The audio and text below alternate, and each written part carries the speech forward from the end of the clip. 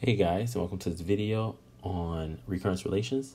So here we want to use the iteration technique to solve the following recurrence relation. And we have the recurrence relation in the blue rectangle here, which states that our function t of n is equal to 3 times t of n minus 1 plus 1. And then we have our base case that states when n equals 1, our function t is equal to 1. And in the green here, we have a useful uh, summation formula that we're going to be using in this video. So let's go ahead and get started by first rewriting our recurrence relation. So we get t of n is equal to 3 times t of n minus 1 plus 1. And what we want to know is what is t of n minus 1? And we can do that just by substituting in n minus 1 for n in our original recurrence relation function. So we get t of n minus 1 is equal to 3 times t of n minus 1 minus 1 plus 1, which gives us 3 times t of n minus 2 plus 1. So now we can substitute t of n minus 1 for 3 times t of n minus 2 plus 1. So let's go ahead and do that. So now we get t of n is equal to 3 times 3 times t of n minus 2 plus 1. All right. And then we still have our plus 1 here. And this is equal to 3 to the power of 2 times t of n minus 2 plus 3 plus 1. All right. So now we want to know what is t of n minus 2.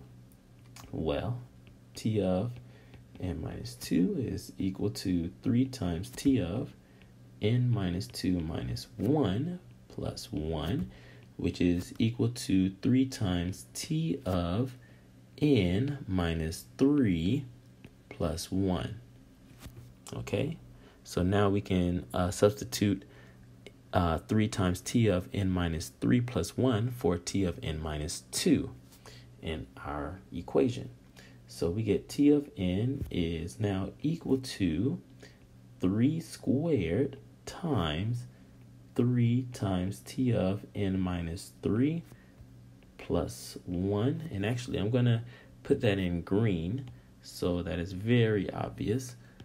All right, so we get, again, 3 times t of n minus 3 plus 1.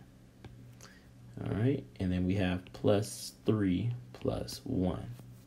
Okay, and this is equal to 3 to the power of 3 times t of n minus 3 plus 3 squared plus 3 plus 1. Okay, now I'm going to stop here because I can already see a pattern. So let me show you guys uh, the pattern that I see.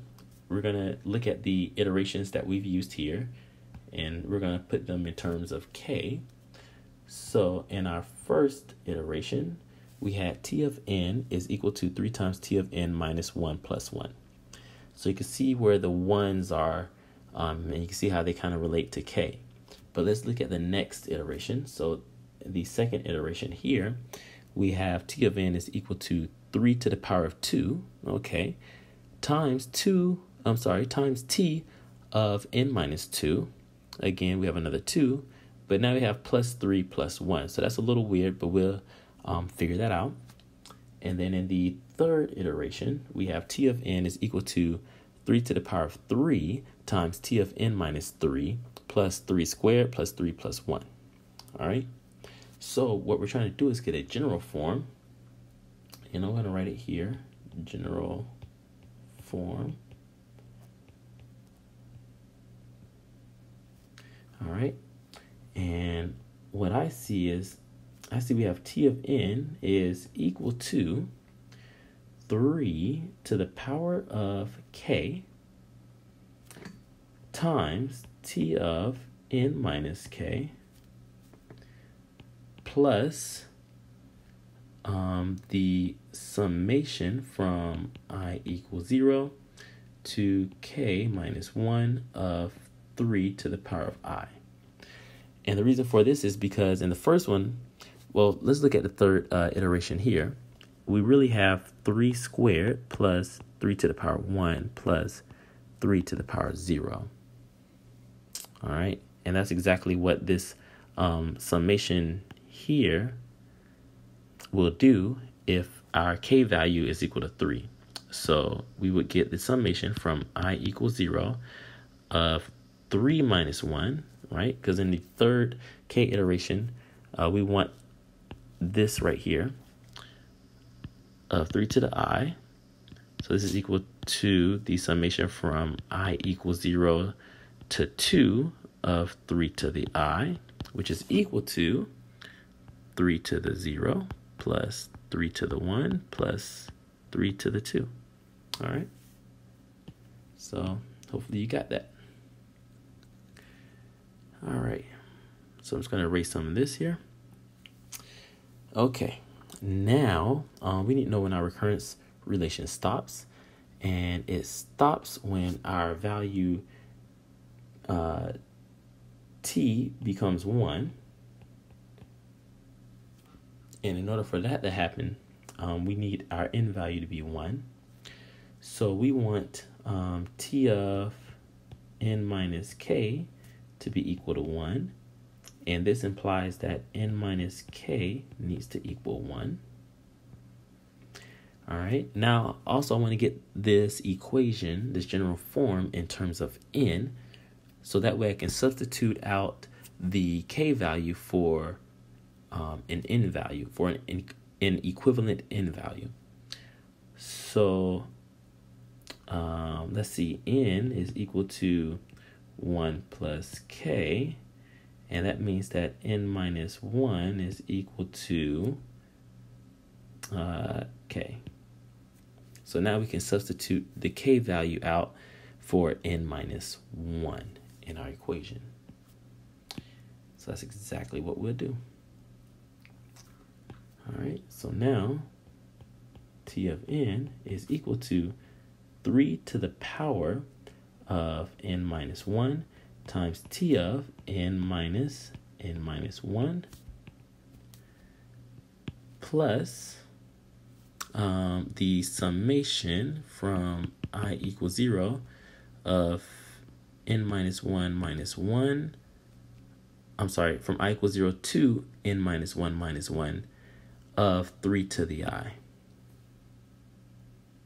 Okay, and this is just equal to um, 3 to the n minus 1 times t of 1 plus the summation from i equals 0 to n minus 2 of 3 to the i. Okay, and this is just equal to 3 times n minus 1 um, plus the summation from i equals 0 to n minus 2 of 3 to the i.